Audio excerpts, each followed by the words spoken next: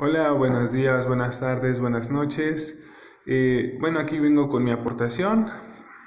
Este, en esta ocasión voy a leerles el primer capítulo de una novela para los amantes de los vampiros como, como Dani y entre otros.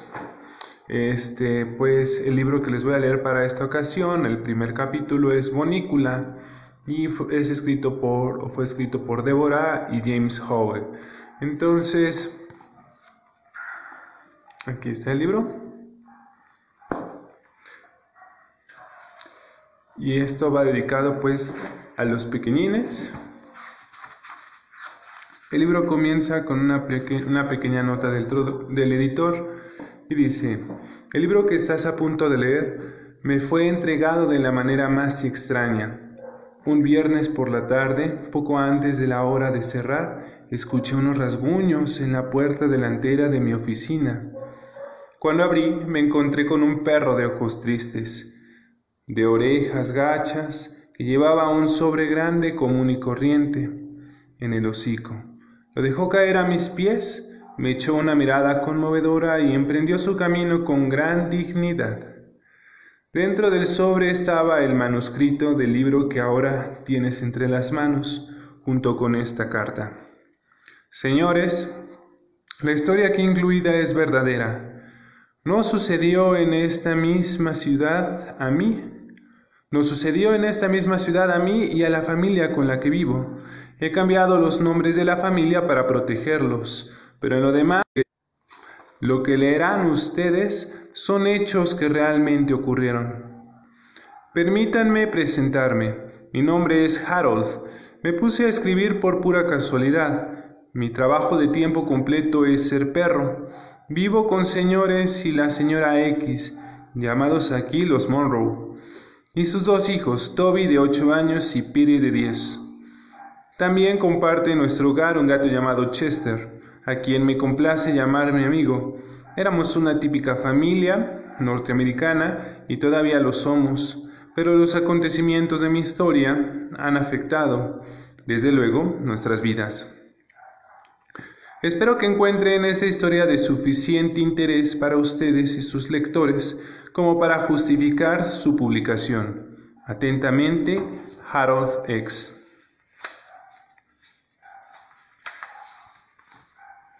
Capítulo 1 la llegada.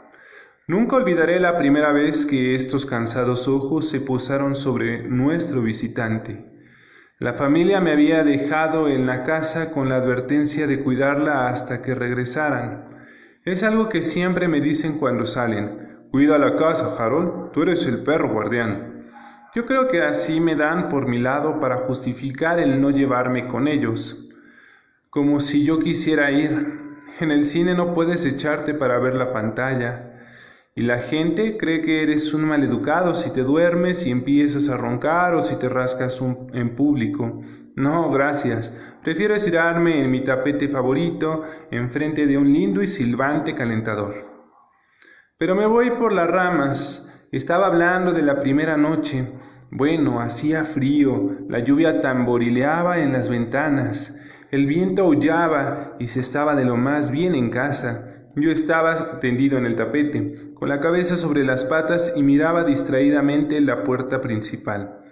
Mi amigo Chester estaba acurrucado en el sillón de terciopelo café, que hace ya varios años declaró, declaró de su propiedad. Vi que una vez más había cubierto todo el asiento con su pelo gatuno, y me reí para mis adentros.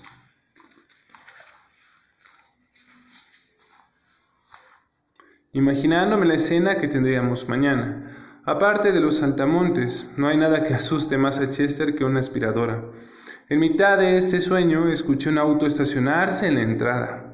Ni siquiera me molesté en levantarme a ver quién era. Sabía que tenía que ser mi familia, los Monroe, pues ya era hora de que la película hubiera terminado. Pasado un momento principal, ahí estaban en el umbral. Toby, Piri y Mami y Papi Monroe, se vio el resplandor de un relámpago y en esa luz repentina me di cuenta de que el señor Monroe llevaba un pequeño bulto, un bultito con los ojos, ojillos relucientes. Piri y Toby irrumpieron en la sala hablando a voz en cuello. Toby, gritó, Ponlo aquí, papi. Quítate las botas, estás empapado, replicó la madre, bastante calmada. Pensé en medio de todo eso. Pero mami, ¿qué hacemos con él? Primero deja de escurrir sobre la alfombra. ¿Alguien tendría la bondad de encargarse de esto? preguntó el señor Monroe, señalando el bulto con ojillos. Me gustaría quitarme el, el abrigo. Yo me encargo, gritó Piri. No, yo, dijo Toby. Yo lo encontré. ¿Tú lo, tú lo vas a dejar caer. Que no, que sí. Mami, Piri me pegó. Yo me encargo, dijo la señora Monroe. Quítense los abrigos inmediatamente. Pero se tardó tanto en ayudar a los niños a quitarse los abrigos que tampoco ella se encargó del bulto. Mi tranquila velada había quedado destruida y nadie siquiera me había dicho hola. Lancé un gemido para recordarles que estaba allí. Harold, gritó Toby, adivina lo que me pasó. Y otra vez todo el mundo se puso a hablar del mismo tema. En este punto creo que debo explicarles algo. En nuestra familia todo mundo trata a los demás con, con gran respeto por su inteligencia. Esto vale también para los animales. Todo lo que les pasa a ellos se nos explica a nosotros. Nunca ha sido cuestión de decirnos, Harold, lindo perrito, o usa la caja con arena, Chester, en nuestra casa, o no. Con nosotros más bien se dice, oye Harold, papi se ganó un aumento y ahora nos van a cobrar más impuestos. O ven a la cama, Chester, vamos a ver el programa Reino Salvaje, a lo mejor descubres un pariente. Lo que demuestra lo, lo amables que son. Después de todo, el señor Monroe es profesor universitario y la señora Monroe es, es abogada, así que nos consideramos un hogar sumamente especial. Y en consecuencia somos unas, unas mascotas sumamente especiales. Así que no fue una sorpresa para mí que se tomaran un tiempo en explicar las extrañas circunstancias que rodearon la llegada del pequeño bulto en los ojillos relucientes. Según esto, llegaron tarde al cine y en vez de molestar a los asistentes que ya estaban sentados, decidieron irse a la última fila que estaba vacía. De puntitas llegaron hasta allá y se sentaron sin molestar a nadie. De repente, Toby, que es el más pequeño, saltó de la silla y exclamó que se había sentado sobre algo. El señor Monroe le dijo que dejara de hacer escándalo y se cambiara de lugar, pero en una muestra poco acostumbrada de independencia, Toby dijo que quería ver en qué se había sentado. Un acomodador llegó a su fila a pedirles que bajaran la voz y el señor Monroe le pidió prestada su lámpara. Lo que encontraron en el asiento de Toby fue el bultito envuelto en una cobija que ahora descansaba en el regazo del señor Monroe. Desenvolvieron el bulto y ahí, en el centro de la cobija, estaba un conejito blanco y negro, posado con una, en una caja de zapatos llena de tierra. Tenía un pedazo de papel atado al cuello con una cinta. Había más palabras en el papel, pero los Monroe no pudieron descifrarlas porque estaban en un idioma totalmente desconocido. Yo me acerqué para ver mejor. Ahora bien, algunas personas podrían llamarme una mezcolanza, pero tengo buenas líneas de sangre en mis venas y la línea de perros lobos rusos es una de ellas. Como mi familia viajaba mucho, fui capaz de reconocer el idioma como un oscuro dialecto de la, religión de los Cárpatos. Traducido toscamente decía, cuiden a mi bebé. Pero no pude darme cuenta de si era el mensaje de una madre desolada o una partitura de música rumana. La criatura estaba temblando de miedo y frío. Se decidió que el señor Monroe y los muchachos le harían una casa con un viejo cajón de madera y algo de malla industrial que había en el garage. Pero para pasar la noche los muchachos le harían una cama en la caja de zapatos. Toby y Piri fueron corriendo a buscar el cajón y la señora Monroe fue a la cocina a conseguir un poco de leche y lechuga. El señor Monroe se sentó con una expresión de aturdimiento en los ojos. Parecía estarse preguntando cómo es que había terminado en su propia sala con un impermeable mojado y un extraño conejilla en el regazo. Le hice una seña a Chester y los dos nos dirigimos como si nada a un rincón de la sala. Nos miramos uno al otro. Bueno, ¿qué piensas? pregunté. Creo que los conejos no les gusta la creo que a los conejos no les gusta la leche. Contestó. Chester y yo no pudimos continuar nuestra conversación porque un ruido ensordecedor nos distrajo. Piri gritaba desde el pasillo, Mamá, Toby rompió la casa del conejo. No es cierto, nada más se me cayó. Piri no me deja llevarla. Es demasiado grande, Toby. Toby está muy chiquito. No estoy chiquito. Sí estás. Ya, está bien, amiguitos, ordenó la señora Monroe al entrar con la leche y la lechuga. Traten de traer el cajón con la menor histeria posible, por favor. Chester se volvió y me dijo en voz baja, esa lechuga se ve repulsiva, pero si queda alguna leche, yo me la zampo. Ciertamente yo no iba a discutir con él. Lo que me gusta a mí es el agua. En ese momento llegó el cajón soportando apenas el esfuerzo de ser jaloneado en dos direcciones opuestas. Toby dice que se va a quedar con el conejo en su cuarto. No se vale. Harold duerme en su cuarto. Solo a veces, pensé, cuando sé que dejo, sé que sé que los restos de un sándwich de jamón, cuando sé que dejó los restos de un sándwich de jamón en su mesita. Toby es un buen niño, no me malentiendan, pero no lo hace, no le hace daño compartir un rico tesoro conmigo. A, figura, a fin de cuentas, fue en una de esas fiestas nocturnas en su cuarto cuando aprendí a disfrutar del pastel de chocolate.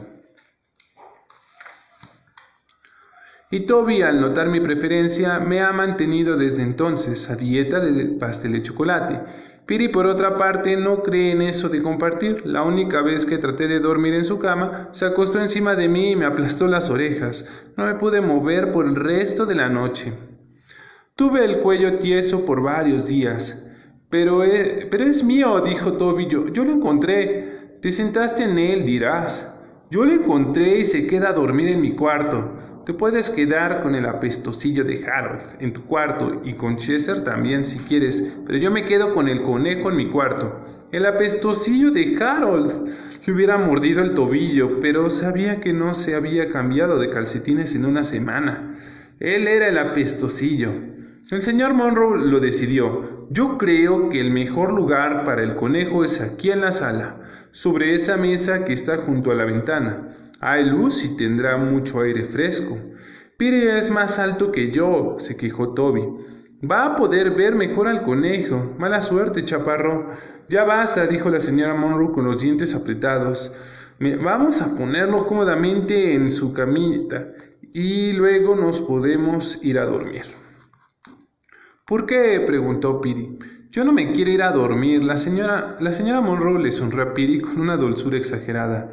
Mira, ma, Toby, dijo Toby, no se está tomando su leche. Chester me dio un codazo en las costillas. ¿No te lo dije? exclamó. Discúlpame mientras me preparo. Oigan, dijo Toby, tenemos que ponerle nombre. ¿No puede eso esperar hasta mañana? preguntó el señor Monroe.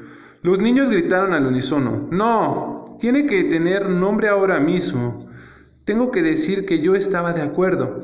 Les llevó tres días ponerme nombre y fueron los tres días más angustiosos de mi vida. No podía dormir preocupado de que me fueran a poner Fofoy, como había sugerido la señora Monroe. Bueno, está bien, suspiró la señora Monroe. ¿Qué tal estaría? Vamos a ver, bombón. Caray, allá va, allá va de nuevo, pensé. ¿De dónde saca esos nombrecitos? Ah, dijimos todos. Bueno, entonces, ¿qué tal Fofoy? ofreció esperanzada. Piri miró a su mamá y sonrió. Nunca te das por vencida, ¿verdad, ma? Mientras tanto, Chester, que también fue llamado Fofoy por un tiempecillo, se estaba frotando los tobillos, se estaba frotando contra los de señora Monroe y ronroneaba con todas sus fuerzas. No, Chester, ahora no, le dijo ella haciéndole a un lado. Nos quiere ayudar a ponerle nombre. ¿No es cierto, Chester? preguntó Toby, al tiempo que se lo ponía en los brazos. Chester me echó una mirada. Me di cuenta que no era eso lo que le, se había propuesto. Ándale, Harold, gritó Toby, tú también tienes que ayudar con el nombre. Me acerqué a la familia y nos pusimos a pensar en serio. Todos miramos dentro de la caja. Era la primera vez que lo veía. Así que este es el conejo, pensé. ¿Cómo se parecía a Chester? Pero tenía orejas más largas y una cola más corta, y un motorcito en la nariz. Bueno, dijo Piri al cabo de un momento, ya que la encontramos en el cine, ¿por qué no le ponemos señor Johnson? Hubo un momento de silencio. ¿Quién es el señor Johnson? preguntó Toby. El tipo que es dueño del cine, respondió Piri. A nadie pareció gustarle la idea. ¿Qué tal, príncipe? dijo el señor Monroe. Pa, dijo Toby, ¿bromeas? Bueno, una vez tuve un perro que se llamaba Príncipe, replicó débilmente. Yo pensé que Príncipe era un nombre bobo para un perro. Lo encontramos en una película de Drácula. Vamos a ponerle Drácula, dijo Toby. Es un nombre estúpido, dijo Piri. No, no es, y de todas maneras yo lo encontré, así que me toca ponerle el nombre. Mami, no vas a dejar que le ponga el nombre, ¿verdad? Eso es favoritismo y me voy a traumar si lo dejas. La señora Monroe miró azorada a Piki. Por favor, ma, por favor, pa, vamos a ponerle Drácula. exclamó Toby. Porfa, porfa, porfa. Y con cada porfa apretaba Chester un poquito más. La señora Monroe recogió el platón de leche y se dirigió a la cocina. Chester siguió cada uno de sus movimientos con los ojos que parecía que se le salían de sus órbitas. Cuando llegó a la puerta de la cocina, se dio vuelta y dijo, Ya no discutamos. Vamos a ponernos de acuerdo. Es un bonito conejo y lo encontramos en una película de Drácula. Así que lo vamos a llamar Bonícula. Bonícula. Eso debe dejar a todos contentos, incluida yo. Bueno, bueno chicos, eh, Preguntó la señora. Toby y Piri se miraron y luego miraron al conejo. Una sonrisa apareció en la cara de Toby. Sí, creo que el nombre está bien. Piri se encogió de hombros. Está bien, pero a mí me toca darle de comer. Está bien, voy a poner la leche otra vez en el refri. Quizás se la tome mañana. ¿Y Chester? dijo Toby dejando caer el ansioso gato al suelo. A lo mejor la quiere. Chester se lanzó en línea recta hacia la señora Monroe y la miró lastimeramente. Oh, Chester, ya no quiere más leche, ¿verdad, Chester? Ya tomaste tu lechita hoy. Se agachó, acarició a Chester con la cabeza y se metió en la cocina. Chester no se movió. Bueno, a la cama, dijo el señor Monroe. Buenas noches, Bonícula, dijo Toby. Buenas noches, conde Bonícula, dijo Piri sarcásticamente en lo que me pareció trataba de ser un acento de Transilvania. Puede equivocarme, pero creo que vi un breve aleteo en la caja. Buenas noches, Harold. Buenas noches, Chester. Le lamí la cara a Toby. Buenas noches, apestosillo Harold. Buenas noches, Bobo Chester. Restregué el hocico en la cara de Piri. Mamá, Harold me baboseó el zapato. Buenas noches, Piri, dijo la señora Monroe con gran firmeza al regresar a la sala y luego más calmadamente. Buenas noches, Harold. Buenas noches, Chester. Los señores Monroe subieron juntos las escaleras. ¿Sabes, amor? dijo el señor Monroe. Eso estuvo de lo más bien. Bonícula. Nunca se me hubiera ocurrido un nombre así. Oh, no sé, Robert. Ella sonrió y le dio el brazo. Yo creo que príncipe también es un nombre bonito. La sala estaba en silencio. Chester todavía estaba echado cerca de la cocina en estado de shock. Pero poco a poco se volteó a verme. Ojalá le hubieran puesto Fofoy. Fue todo lo que dijo. Bueno, pues hasta aquí el primer capítulo de Bonícula. Si hay chance u oportunidad de poder eh, leer y concluir con la novela de Bonícula, pues lo haré con mucho gusto y lo estaremos haciendo en, los siguientes días. Gracias por por llegar hasta este punto y pues seguimos viendo los demás videos y pues buenos días, buenas tardes, buenas noches y que sigan disfrutando de este agradable encierro.